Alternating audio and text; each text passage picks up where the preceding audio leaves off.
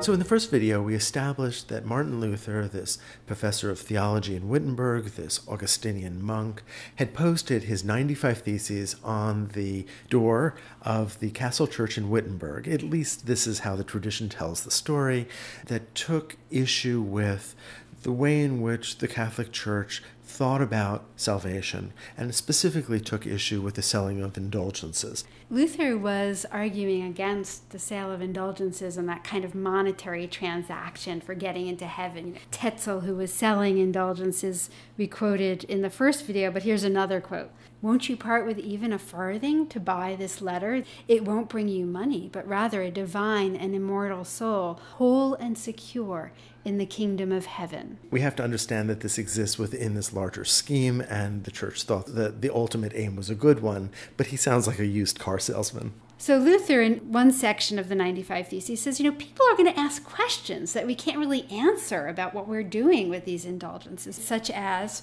why does not the Pope empty purgatory for the sake of holy love and the dire need of the souls that are there if he redeems an infinite number of souls for the sake of miserable money with which to buy a church?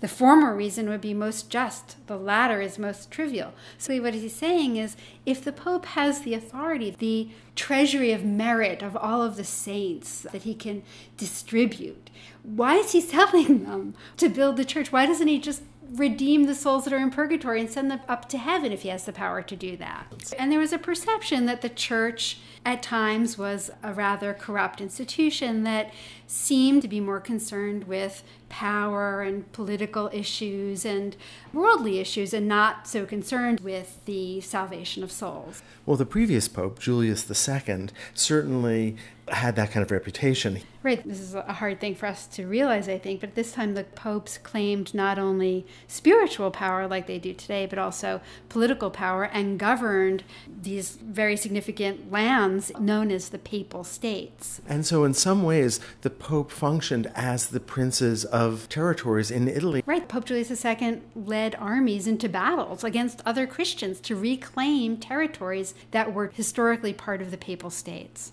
So, this notion of a kind of corruption in Rome is infusing this entire discussion, this entire argument. So there had been other reformers before Luther who were not successful. For example, we could look to John Wycliffe in the 14th century. So in the 1300s, this Englishman had set about to translate the Bible into the vernacular, into the common language, into English. He organized the translation of the Bible into English. He translated much of it himself, especially much of the New Testament. It was important to him that the Bible be available to people in their common language, that people could read it. If it's in Latin, essentially only the priests could read it. This is important for us because this idea of enabling the reading of the Bible was critical for Luther, and we'll get to that. Okay, so let's just step back for a moment and just remember that in Western Europe at this time, the vast majority of the population was illiterate. But those that could read would be reading in the vernacular, not Latin. And by vernacular, I mean their common languages, whether it was English or German or French or Italian, it wasn't Latin. And this was a means that the church could control the Word of God. Well, it meant that you heard the Word of God through the priest. You weren't able to read it yourself. Wycliffe also attacked the abuses of the church, the worldliness of the church. But after he died, he was declared a heretic.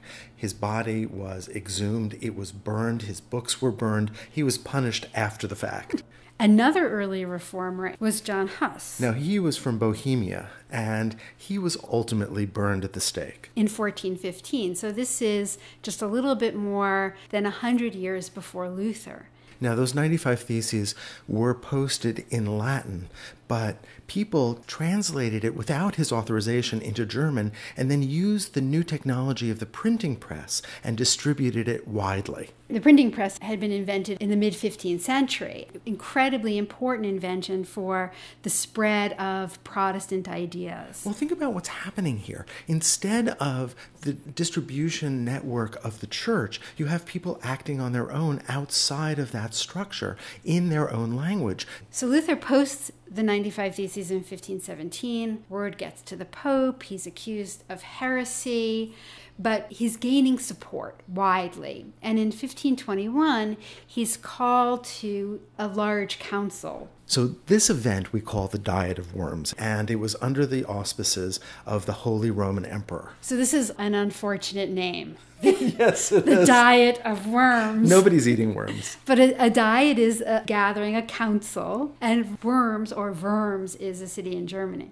So the new Holy Roman Emperor, who's, by the way, only a teenager at this time, has summoned Luther. He's given him an authorization of safe passage. That is, he won't be arrested on his way, and he is to testify at this council. So Luther is asked if he authored the books. He's presented with his own books. Luther says, Yes, I did. And then he's asked, Do you stand by the ideas in these books? And Luther says, Give me a day to think about that. And that request is granted. He comes back the next day and, by all accounts, gives an eloquent defense of the ideas in the books and does not renounce any of the ideas. It's pretty clear that the lines are drawn, and Luther leaves Worms. He's declared an unrepentant heretic. It's clear he's going to be arrested. Possession of his writings is forbidden, and he leaves the city of Worms. Remember, he's been granted safe passage, so he's allowed to leave Worms. Now, here's the crucial moment. Will he end up like Huss, that is burned at the stake, arrested? Will that be the end of his efforts, or will something else happen?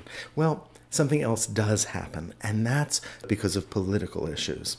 The new emperor of the Holy Roman Empire had gotten that job because of the vote of men in Germany, princes, who are called electors. And one of those electors, the elector of Saxony, secretly kidnaps Luther as he leaves the city of Worms and hides him away in a castle where, by the way, Luther immediately gets down to work writing and translating the New Testament. And by the time Luther emerges and returns to public life, the Holy Roman Emperor is involved in other issues and doesn't pursue his arrest. So Luther is able to do something that Huss, that Wycliffe was not able to do, which is to continue his campaign. In a way, the whole Reformation happens because of issues like this that local rulers, whether they're monarchs or princes, are tired of ceding so much authority and political power to the Pope and use the opportunity of the Reformation to wrest back some control of their own lands, of their own people. If you think about the power structure in Europe at this time, especially in what will become Germany, you have the local princes, you have the authority of the Pope in Rome on the other side of the Alps, but you also have the Holy Roman Emperor, so it was very complicated, and everybody was trying to enlarge their own stake. So Martin Luther is at the Diet of Worms. He's been confronted with his own writings. He's in a really dangerous situation. Luther was going against one of the central doctrines of the church, and that was that you were justified. That is, that you got to heaven in two ways, according to the church. One, through God's forgiveness, through God's grace. The other, through things that you could do yourself, choices that you could make as a human being, through what the church called good works. So, by good works, we mean, for instance, helping to build St. Peter's Basilica. Exactly, or donating money to the church. Or helping the poor, or any of the things that we think in the modern world of charitable work. Exactly.